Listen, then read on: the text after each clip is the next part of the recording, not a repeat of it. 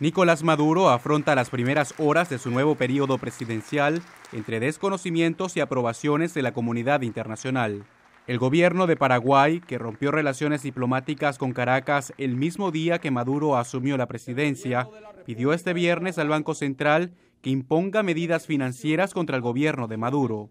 Perú y Honduras llamaron a consulta a sus representantes diplomáticos, mientras que Chile dejó claro que su encargado de negocios continuará en Venezuela.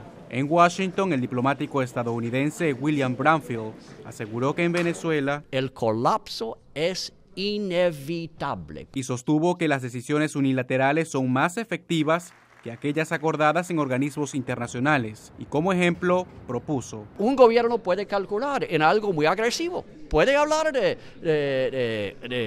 de, una decisión de, empujar ayuda humanitaria a Venezuela, cruzando la frontera, diciendo que no importa lo que diga el gobierno, vamos a mandar 100 eh, camiones con, apoyo, pero algo que la OEA no podría hacer porque tiene eh, que llegar a su consenso. A favor del presidente Maduro, Rusia reiteró el compromiso amistoso con su gobierno y fustigó a Estados Unidos, asegurando que con sus medidas atenta contra la soberanía venezolana. ¿Está certificado mi juramento? El Departamento de Estado de Estados Unidos, entre tanto, declaró la ilegitimidad del mandatario venezolano y con ese mismo tono, la Comisión de Asuntos Exteriores de la Cámara de Representantes emitió un tuit este viernes en el que anuncia que algunos de sus miembros presentarán proyectos contra el gobierno de Caracas. Jorge Agobián, Voz de América, Washington.